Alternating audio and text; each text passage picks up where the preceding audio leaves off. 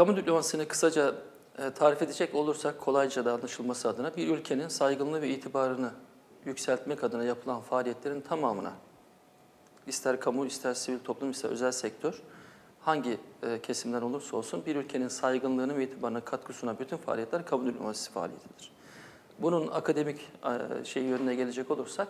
kamu diplomasisi deyince bir ülke kamuoyunun farklı ülke kamuoyları nezdinde cazibesinin yüksek olması, saygınlığının yüksek olması ve yaptığı, aldığı kararların, uyguladığı stratejilerin, ülke bazında gerçekleştirmiş olan faaliyetlerin tümünün meşru olarak kabul edilebilmesini sağlayacak zeminin oluşturulmasıdır.